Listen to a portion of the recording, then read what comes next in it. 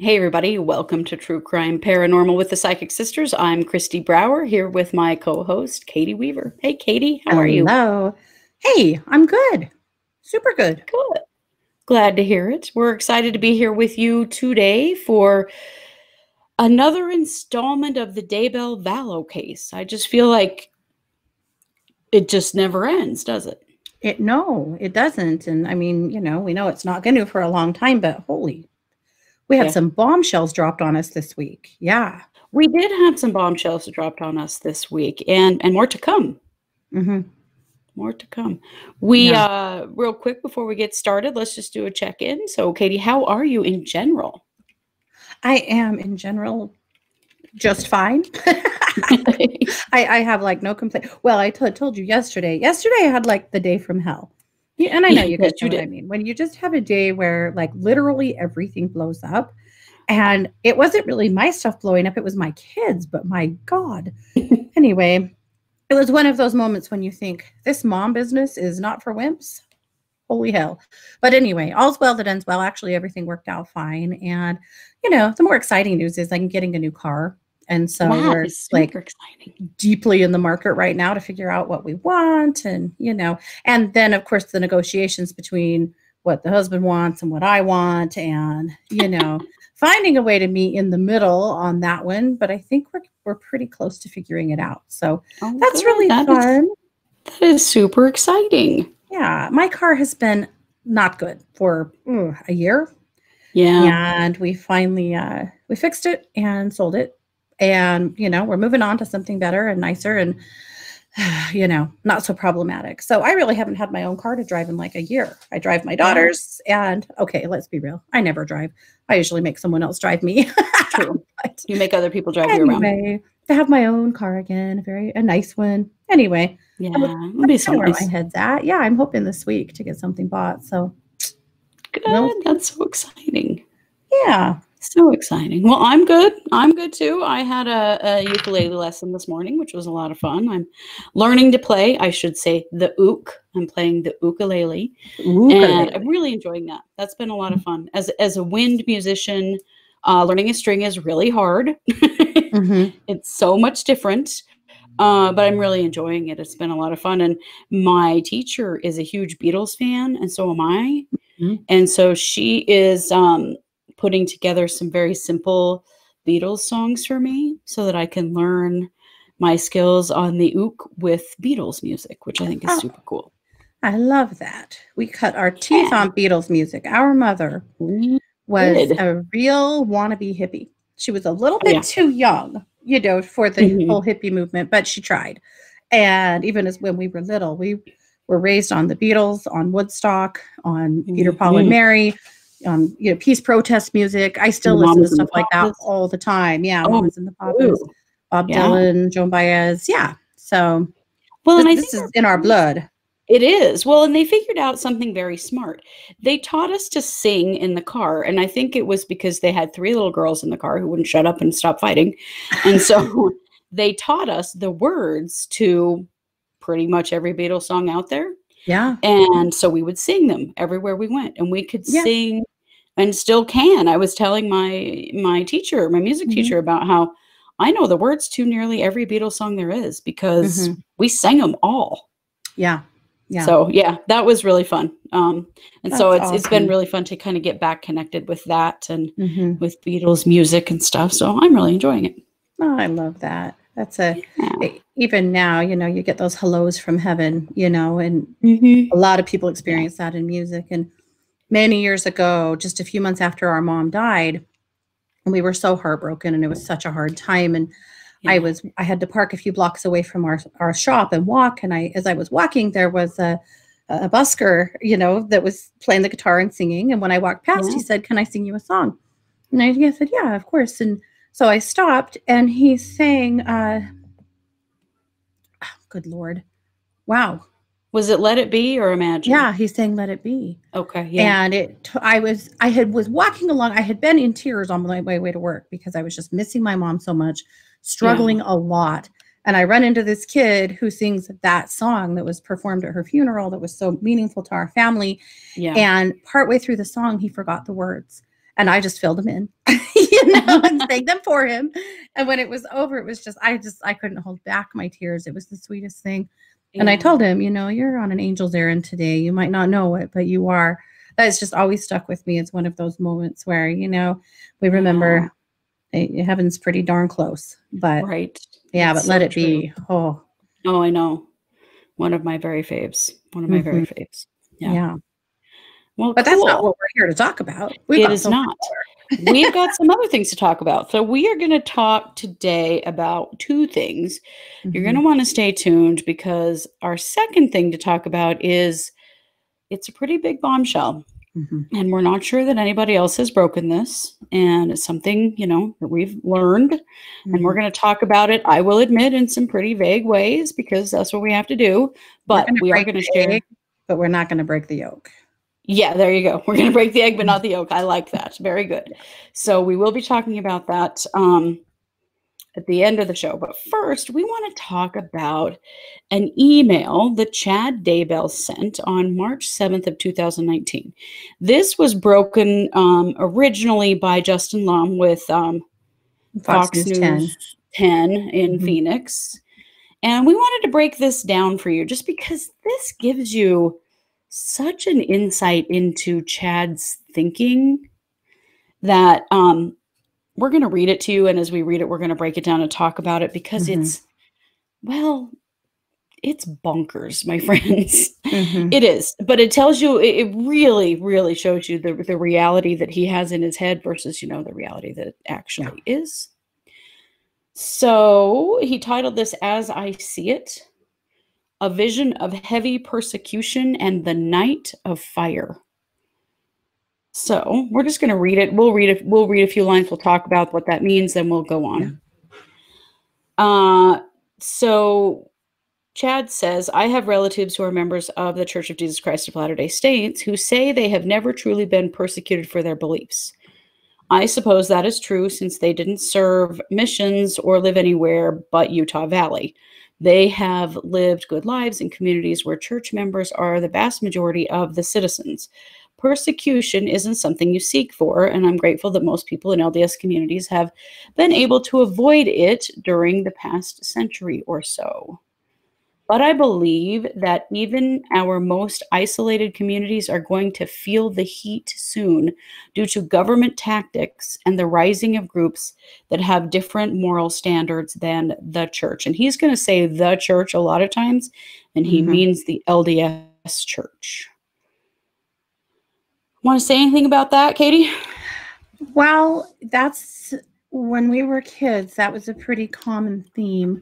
You know, Mhm. uh, the, the stories about the early Mormon church and them, you know, uh, essentially being driven from one community to the next, or at least that was uh, what we were always taught. Now, history actually Yeah. tells a different story, but we're not really here to get into all of that today Right. you know but but that is a very common lds belief that mormons have been persecuted against part of that is because uh, a lot of mainstream mainstream christianity actually don't uh, believe that mormons are christians and mormons do believe Yes. that they are christians but there's kind of been a, a, a divide there for a long time between uh, you know who's the real christians you know Yeah, kind of a chest beating competition.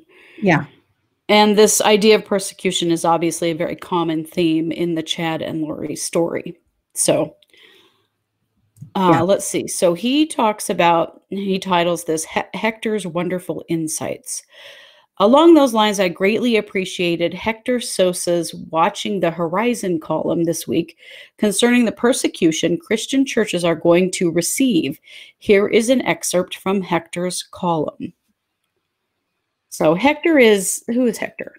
So Hector is a guy in Utah who has been one of. Uh, he also had a website, kind of like the AVOW website that a lot of people here in Southeast Idaho were visiting or Yeah. are still visiting. Um, Hector also had a website in Utah that was similar. So these websites are spots where Mormon people are going to discuss the scriptures and the church doctrine and you know they they started out very benign you know just kind of like online bible study groups or discussion groups Yeah. uh, what happened is that they have kind of grown from that and i can't speak you know, directly to Hector's site. I've never seen it, but I understand that it was similar to the AVOW site. But basically, they have formed offshoots of those groups or of those rooms, you know, uh, offshoot pages or rooms in those groups where they're talking more about all of this prepper stuff and the end of the world stuff. And so it seems like there was kind of a part of these websites that were for more mainstream Mormonism and maybe more closed door parts of these sites that were a little bit more radical. Now, yeah. I was told that Hector, the day that the children were found, that Hector took his site offline. Wow. I hope he keeps it offline. Yeah, me too. Maybe he's recognized the the danger of some of this. We'll see. So here's what he says, and he is discussing having had a vision, and this is a thing mm-hmm. um, that Chad and his followers and a lot of the folks involved in these groups have a lot of visions, and so this is the vision that Hector had. I saw false prophets and false Christs arrive in the near future. I saw them doing miracles.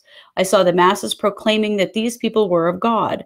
These limitations, oh, sorry, these imitators proclaimed that Christians are following a false God and that they are pretenders. Those, those members without mm-hmm. testimonies or with wobbly testimonies believed these fake miracles because that's something they can see. All Christian sects came under attack.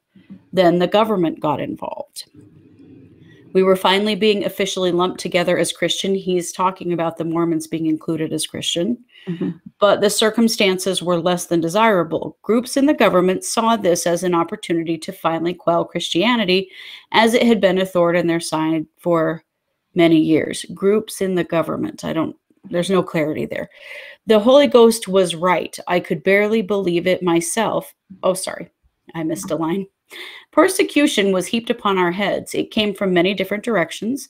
The government acted against the Christian churches in the states. Our church was stripped of the 501c3 status, along with the other Christian churches. Our buildings were confiscated, and we were not allowed to worship in public. The Holy Ghost was right. The Holy Ghost is um, what some people call the Holy Spirit. That's the Mormon term.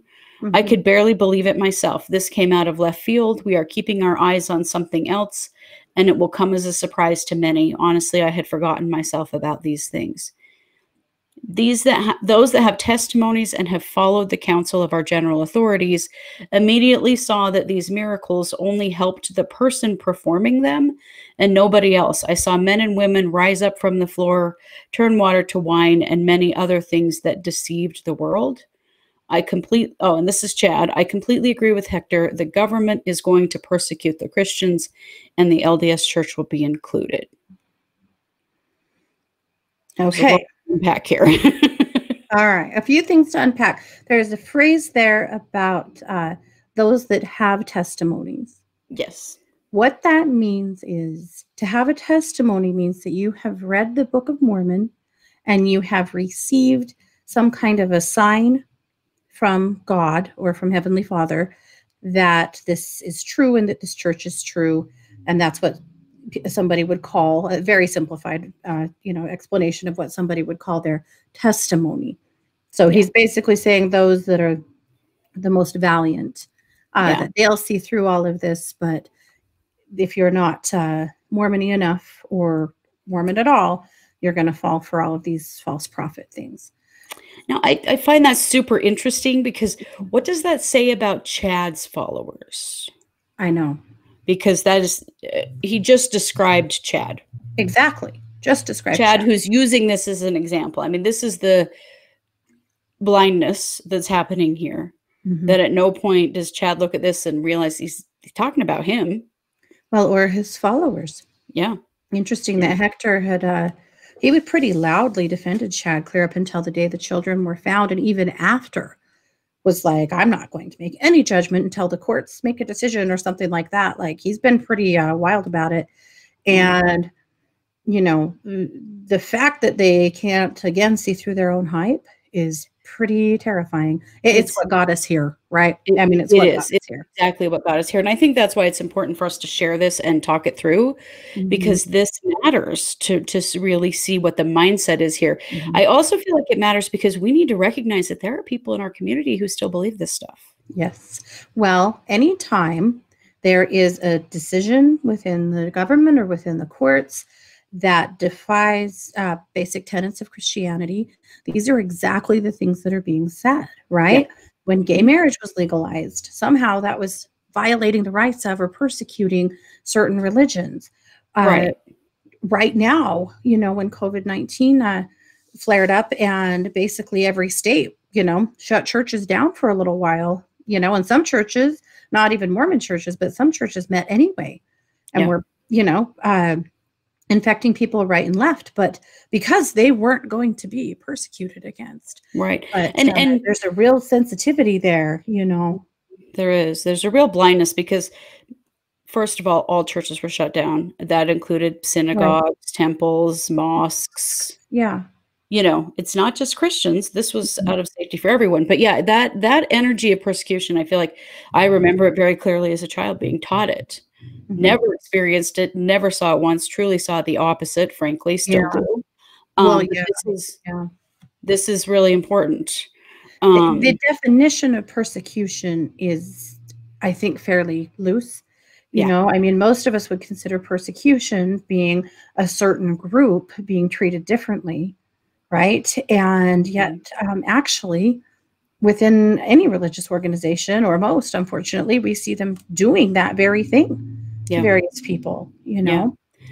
I know that's and that's the short-sightedness here that that with everything that Chad says and everything he quotes and and and this was written prior to the children being killed yeah. but you know he was still heavily involved in the mm-hmm. things that he's been doing yeah uh, one of the things i found interesting was that you know the false prophets their miracles only helped themselves and we've mm-hmm. said over and over again how chad's proclamations um definitely only help himself you know yeah.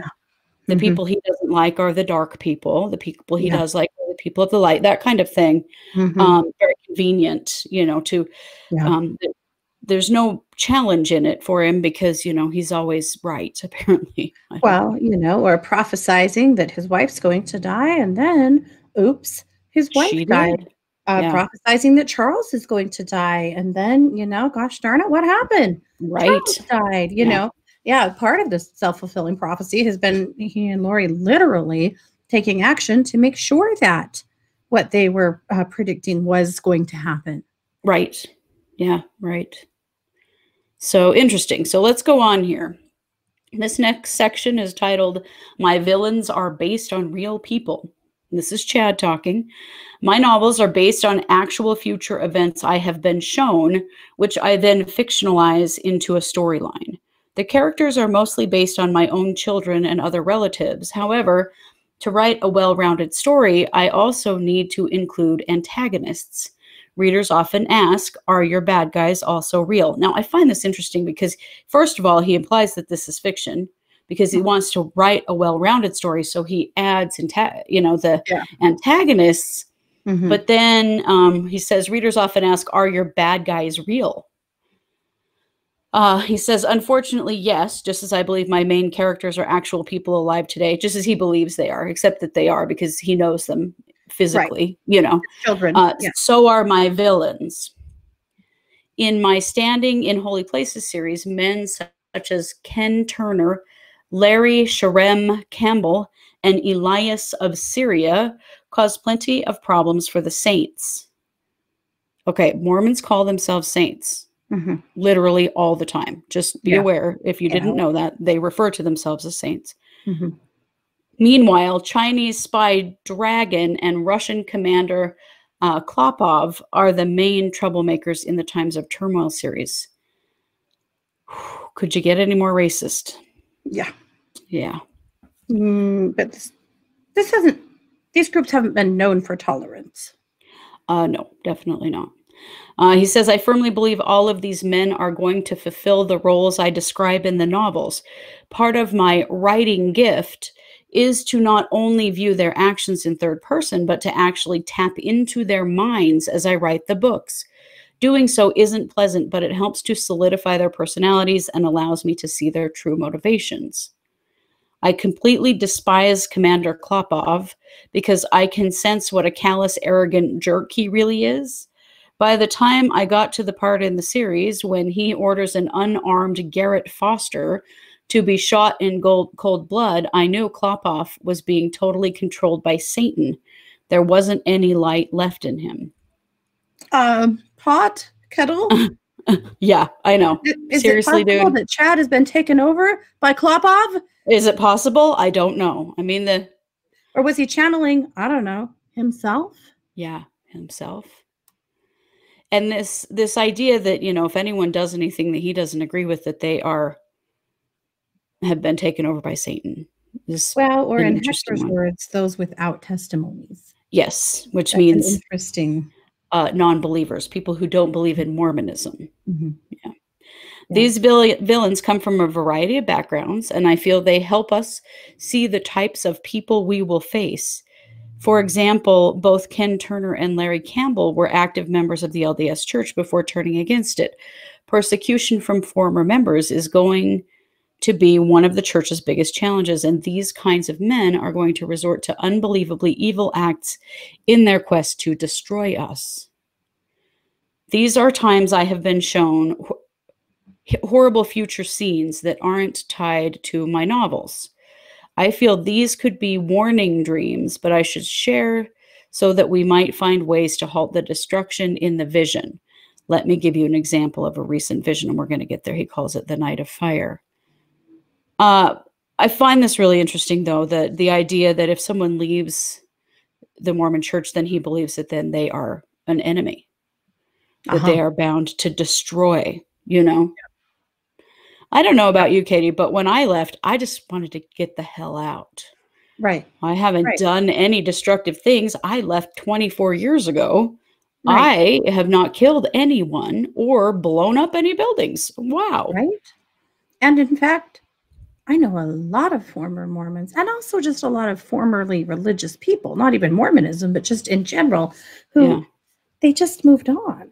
And they moved on peacefully. But yeah, this idea that if you you're with us or against us, and, Yeah. and let's be clear, not everyone feels that way. I mean, this is very radical. And there It are is. radical people who definitely feel this way, obviously, Daybell being one of them. And there are people Mhm. that feel that way. For the very most part, this is not how LDS people behave or feel, you know. This is a very small radical minority. Uh, Right. You know, just like uh, you know, Muslims that uh, you know, blow up planes in the name of Allah, you know. Not right. It is the same kind of thing. These are ex- this is an extremist view. Yeah, totally. But yeah, that's pretty uh that that's pretty callous. That's actually kind of scary. It isn't because he's behind bars now, but that should be a little scary because, you know, Mhm. That means anyone who's left the LDS church would be considered dark and dangerous. Right, and and and and and literally an enemy, and we get into that even further in the in the second half of the letter, which Mhm. I you know just find it, it's this idea that if you don't believe the same that I do, that you are my enemy. Yeah. and and it's a real commentary on the entire world right now, not just this Mm-hmm. situation, but Yeah. many others. So he he calls this um, vision that he has had uh, a night of fire. He says, I believe Hector's vision of our buildings being confiscated is true, but I was recently shown a vision of another way the saints are going to lose their chapels. I believe I was shown this specific event because I served my LDS mission in New Jersey and I still have a spiritual connection to the area. The vision opened with a scene of a middle aged man working in a financial office in New Jersey. It was as if I could read his mind. I realized he was an ex Mormon making plans to harm the church in a devastating way in the near future. I believe right now this plan is just a small idea tucked away in his brain, but under the right circumstances, it could blossom into the horrible outcome I was shown. I wondered if this vision could be symbolic, but the Spirit assured me it is not. I felt I should write the first part of the vision as if I was writing a novel. This man's name is fictional, of course. Here it is. So, you know, he really goes back and forth between if what he's saying is fiction or not, which I, to me, is a really strong indication of his um, weak grasp on reality. Uh-huh. I really feel like his grasp on what is actually real and what isn't is not good. And I think Lori as well. Uh, Mhm. you know, and, and it, they're delusional, and this they've fallen into a delusion here. Um, but this is this is what he wrote in in the style of a novel. Mm-hmm. Peterson watched the TV news and saw dozens of Christian churches were going up in flames throughout the southeast United States. Arson had become the preferred method to shut down the believers of Jesus Christ. If a congregation didn't have anywhere to meet, it greatly weakened their power as a group. Gary turned off the TV and went to his computer. He had a grand plan in mind. It would take some coordination, but it would satisfy the anger that had been building inside of him ever since his excommunication from the Church of Jesus Christ of Latter day Saints three years earlier. He had been unfaithful to his wife, but the penalty the church leaders had given him had felt so cold hearted and heavy handed. He made great he made great money as a financial analyst, and it angered him to think of all of the tithing and other donations he had given the church throughout the years. Now, first of all, Chad was actively committing adultery at the time that he wrote this. Yeah. I mean, Yeah. what? What the dissonance here is deafening. I mean, what the hell? Uh, yeah, it, it just is. It's just like, holy shit, you know? Okay, so uh, his wife had soon divorced him, and the bitterness he felt just wouldn't go away. In the past year, he had joined a chat room filled with ex Mormons in the New York, New Jersey area. He had even met some of them for lunch, and they seemed to have the same distaste for the church that he did. He knew his LDS church history well, and he knew in the 1830s the Missourians effectively used fire to drive the Mormons from the state. It was time for a repeat of that method, and he had the resources to do it. Now, hmm. there is way more to that Missouri story than he's shared here, and we'll let you go look it up, but feel free to see both sides of that story. He knew his, uh, let's see, the night Gary did some, re- that night Gary did some research using Google Maps. It was almost too easy. Within 10 minutes, he had printed out the addresses of 20 LDS buildings in New Jersey. Gary smiled to himself, knowing that the night of fire would help to satisfy the anger in his soul. um, you know, okay, so a couple of things here. There's the implication that people who are former Mormons um, get together and conspire against the Mormon church is a well known belief. Mhm. Um, I will tell you that I do know of groups who meet that are former Mormons. Do they meet to conspire? No. They are trying to heal and recover from what they've been through and find their path spiritually. And they're looking for Mhm. community because being a member of the Mormon church provides you with a community. And when you leave, you are shunned. And so they're looking for that kind of community. Have I ever talked to a former Mormon group, though, that was planning to firebomb a bunch of Mormon churches? No, I have No. not. No, strangely, no. No, but the just the implication of all of this is really sick. It- Uh, It's very insulting. it is. A- yeah. And I feel like, you know, I, most Mormon people that I know that read this would be completely disgusted as well. Yeah. I mean, again, this is so radical. It's so ridiculous, but this is Chad. This is where his thoughts This are This is where his thinking is. Yeah. and how violent his thinking is. Yeah. Yeah. It's very extreme. He says, I will stop the narrative there, but I was shown that Gary and his ex Mormon friends would provide supplies to a prominent New Jersey gang whose members would spread out in 20 teams across the state on a Saturday night in coordinated attacks beginning at 11 p.m. The goal would be to burn down all 20 churches simultaneously before anyone even noticed a pattern. You know, just any old random gang out there is going to burn down all these churches for you. I'm Yeah. like, dude, you're a writer. Couldn't you have come up with a better story than that? No, no, he cannot. No, he can't because he's not a very good writer, to be perfectly honest. Um, the church members would wake up on a Sunday morning to find their chapels destroyed. It would be a crushing blow that would cause many people to go inactive or even renounce their membership rather than endure more per- persecution. Interesting way of looking at people that their faith is that weak. hmm That kind of got me too. I'm like, really? I would think that would actually strengthen people. And- I, I would and, think so know, too. If this was something I- that you truly believed in, right? Years ago, a Mormon church burned down, not Yeah. you know, in a community not too far from us. Mhm. It was an old, really old, beautiful church, but uh, apparently a tinderbox, and it Yeah. went up in flames, and there was just no stopping it. Yeah. and and this was a very very small community, and there was only one LDS church in the area. Mhm. And guess what happened when their church burned down? Uh, they built Another local church. Well, they did, of course, but until it was rebuilt, another local church split their space with them and allowed That's them right. to use their space to have church until right. it was rebuilt. And that was fine. There's another instance of a mosque being burned down, and the Mormon church next door opened their doors and allowed the members of the mosque to worship in in you their know, to building. use in their building until the Yeah. mosque was rebuilt. Things like that The- happen all the time. They do. The view really of the Mormon church in this writing is really skewed. And I would think that um, you know, members would find this really offensive. Very distasteful. Yeah. Um, it also just, you know, it, yes, occasionally Christian churches do get burned down, but you know what get burned down a lot more? Mosques, uh-huh. Jewish temples, Black stuff like that. churches. black Yeah. churches. Yes, black Christian churches are really the ones that get Mhm. targeted.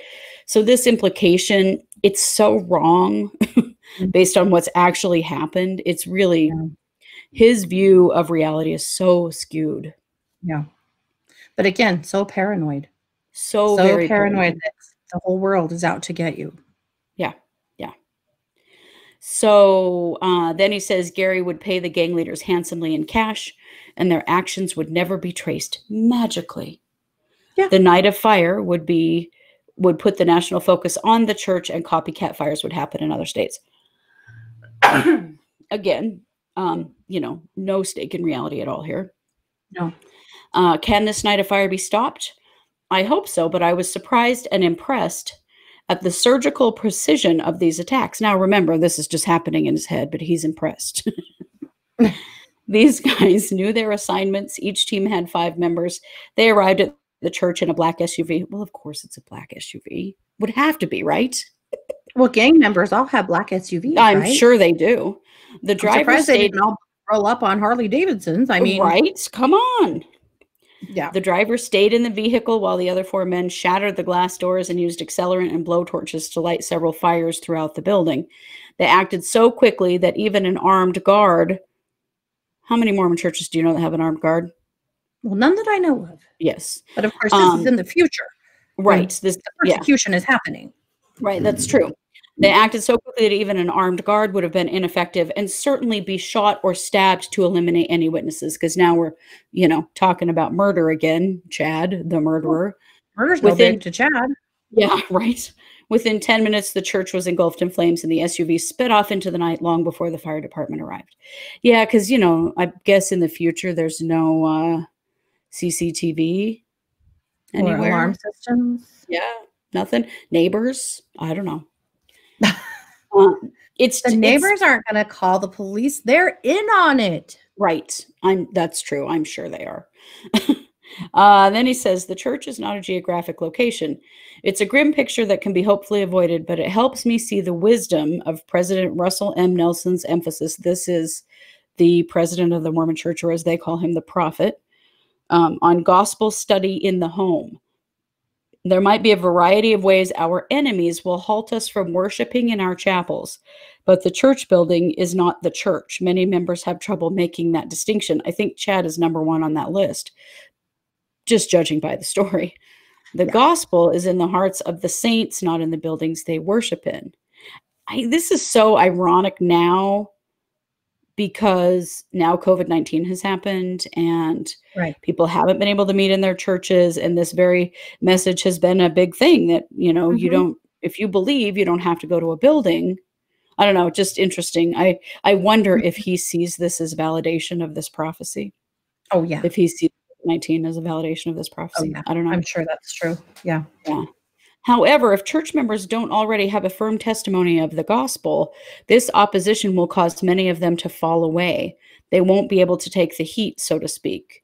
Only the truly converted disciples of Jesus Christ will make it through this period of strife. It will be a refiner's fire that will strengthen the faithful saints. Oh, the refiner's fire. Have we not heard that before? Yeah. Refiner's fire. That's definitely a term that we've heard a billion times. You have to go Yes. through the hard stuff. You have to be burned down and refined. And also, yet again, with the only those with the real testimonies. Yeah. You know, only those basically the- the implication only the people the only people who are really going to be saved in this situation are the real hardcore Mormons. Yeah. Which is such a bizarre thought. Yeah.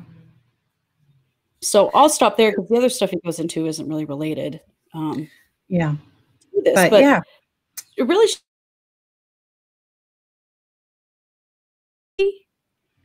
wouldn't you Mhm. say?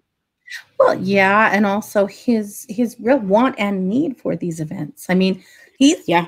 he was he's actively seeking these kinds of things. You know, this Mhm. really takes me back to the prophecy that in early 2019 there was supposed to be, uh, or sorry, early 2020 there was supposed to be this epic earthquake that basically, you know, shook the uh, Right. foundation of the church to the ground and, and temple square you know was seriously damaged and the church had to rebuild that was uh you know and and of course also the uh melanie pawlowski had said that ian or sorry not ian that alex and zulema after they got married had stayed in vegas for a few days to prepare earthquakes because zulema can control the elements isn't Right. that another what they might consider a false prophet. Right. You know, They're just describing themselves based on their own doctrine. yeah, to basically take out Salt Lake City. Yeah. And he was prophesizing that he was looking for that. Yeah. Salt Lake City has millions of people in it. Yeah. What, what a terrible thing, you know, Yeah. to be trying to cause. But Well, not you know, to mention know that a good wasn't- of them are Mormons. Like, right. None of this makes any sense. It it doesn't make any sense in in rational reality at all. But Mhm. I mean, even back in March of 2019, so 18 months ago, this is what he was thinking. It it it helps me to understand how he got to the point of, oh, let's start murdering people who get in our way with Yeah. some beliefs like this. It it Yeah. it's sick and wrong, but I think Mhm. that you can see where his thought process was going. Yeah. Yeah. Very, very interesting. I would love to see more of these kinds of communications. I would imagine that there is a ton of this out there Oh, that we just haven't been privy to, but I would love to see more of this because these are really important peeks into his psyche Yeah. and into how he got to where he is right now. Absolutely. I think, and when you read, when I read things like this, you know, some people say, oh, you know, Lori was the instigator in this whole situation and she's the person who, you know, who got him involved in all this stuff. No, this all existed in him way before he Mhm. started killing people for Lori. You know, Yeah. like, no, th- this is definitely, uh, and, and, you know, I don't doubt that she has, she became a disciple of his to begin with Yeah. and then was sort of brought up to the level of his equal. Um, but where most of this comes from, him. Yeah. I think that's pretty clear. Yep. Definitely. Yeah, Definitely. So there you have it. there you have that. And let's uh, go to our big scoop. And Katie, you, Yeah. this is your scoop. So why don't you go ahead and tell tell the good folks what we know? So on late last week, on Thursday or Friday, I had received uh, on Friday, I had received a message from someone I know uh, that said that there was something that a rumor that was swirling around in Chad's neighborhood and ward that they wanted to share with me if I'd be interested in hearing it. And so I connected with that person, and I guess I'll just tell you guys up front. We're not going to tell you the names of anybody today No. anybody. We're going to be very careful, but I still think it's worth talking about because what they told me is that there are many people out there that believe that there is a seventh victim. There's a seventh person that was murdered at the hands of Chad and perhaps Lori. That's what I was told. So here's the the basis. And I'm I'm going to tell you when I was told that, I did homework. I reached out to three other people that I know who live in the area and all three of them told me yes, this is exactly what I heard Yeah. or or similar to what I heard. So Mhm. what we're being told is that there was a farmer that lived near Chad, who again, we're not sharing any more info because people associated to this case have been harassed horribly by the media, by the public, by other podcasters that uh, have gone as far as blackmailing people to get the information that they want from them. Like things have been really, really dicey. So Yeah. we're going to be very careful to not give too much information to maybe ruin something, you know, a life for somebody or something. We're just Right, we're just going to give you the basics. Stuff like that. No, we don't do things like that, and we we're not going to open the door for that to anyone else. But anyway, um, because we've heard some pretty scary and unhappy things. But anyway, uh, so there was a farmer out there who relied on those ditches. Now, remember, there's a ditch bank that runs along the side of Chad's property, you know, that was right on the other side of the fence, right? The fence where all of the memorial stuff was, mm-hmm. which incidentally, um, on Friday or maybe late Thursday, the that was all cleaned up. The memorial at Chad's house is completely gone. Yep. And some people say that it was Chad's son and son in law that cleaned it up. Some people are saying that Chad's attorney prior paid someone to clean it up. We don't really know. I will tell you that it was falling off, it was ratty, it was polluting the ditch. And I'm sure that the local farmers and the water masters weren't very happy about it. Yeah. It's but the city, uh, the locals are working on putting together a permanent memorial, like maybe a bench in the park or something like that. So mm-hmm. stay tuned for that. We'll have more info on that, I'm sure, soon. Sure. But anyway, that's kind of an aside, just in case you're wondering if you've heard it. Yes, the entire memorial was stripped out, except for the blue ribbons on the on the except posts. for the blue ribbons on the posts. Yeah, they're still there. Unfortunately, Colby Ryan arrived to town on Friday and went to that place and was absolutely stabbed in the heart to see that the memorial was gone. And it yeah. literally happened like right before he came, which is really yeah, sad. That's, that's Tylee's brother. Not, yeah. Well, JJ's brother also yeah. So anyway but that's just an aside from everything else. But so yeah. that ditch that runs right in front of chad's property well apparently this farmer was well known for walking up and down the ditch banks that he'd walk miles every day up and down the ditch banks to double check the water make sure it was flowing properly make sure that it was clean and clear to go to his property because he needed it to be clean and clear for the kind of uh, farming that he was doing. It was the water was extremely important to him. So he was he did a lot of walking up and down the ditch banks Mm-hmm. Um, this person, so the last day uh, that we know of JJ is the 23rd of September. Mm-hmm. And we believe that that's the day that JJ died. On the 29th of September, this gentleman died uh, very suddenly, very surprisingly to his family. He was a little bit older, you know. Uh, he was a little older than Tammy. Tammy was 49, and he was a little older than that, but still, was a super healthy guy that, you know, farmed and ranched and did all kinds of things. And it was a huge shock to his family and his community. And he died from, guess what? A pulmonary embolism. Yeah. Isn't that interesting?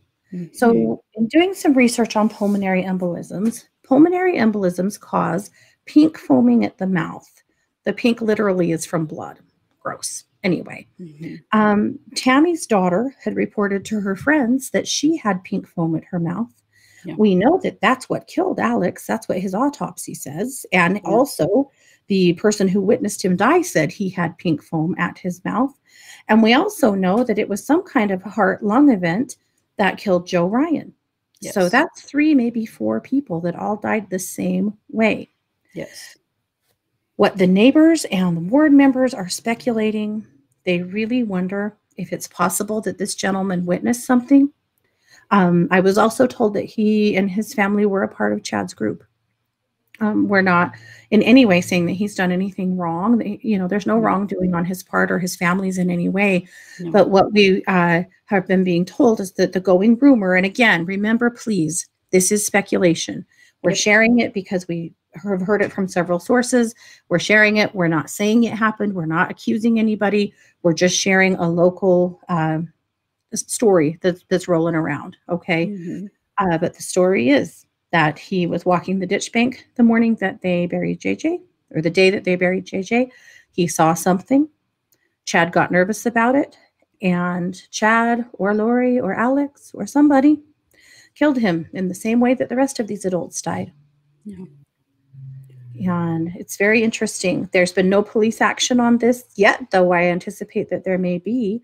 You know, we don't know. We don't know. But we're, we're telling you what we know because, well, because we chose to, you know, and some of you might, uh, we might split hairs on this conversation, and that's okay. We don't all have to be on the same page with it, but we felt like this was worth sharing. It's important to get all of it out there and and you know we will always share with you if, if something is a speculation if something is a rumor we're always going to tell you that yeah.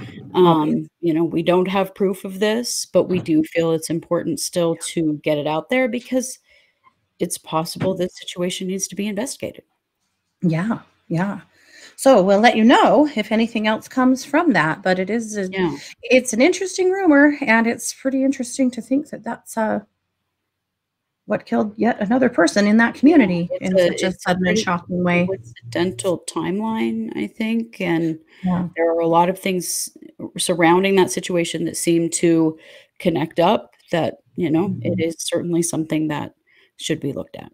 Yeah, yeah. So, well, that's what we've got.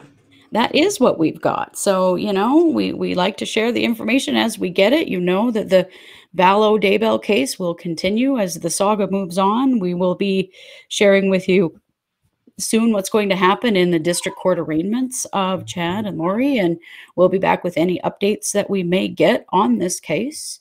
Yeah. Uh, and we'll be back with other stories as well. So thank you for joining us today. Don't forget that you can find us over on Facebook. We have uh, our fan page, True Crime Paranormal with the Psychic Sisters. We also have a discussion group that's linked to that fan page. So we'd love for you to find us over there. Also, Mhm. we are on Patreon and we really appreciate your help. You know, running a podcast like this is not free. And Mm, so it, it's very helpful to us to um, when you support us you help keep us going doing what we're doing. So if you go to patreon and look and just search for true crime paranormal with the psychic sisters you'll find us there. If you become a patron you will receive some free bonus content. So Yeah. some shows that don't air here on um, youtube or on our podcast platform but only air over at patreon. So if you want to get some some free content and some extra content and you know, i guess it's not totally free but it's pretty much free um please uh you know join us over there and that helps us to keep doing what we're doing Absolutely. Yep. yeah so Very good. true crime paranormal and we are the psychic sisters so have a great day Take care, guys.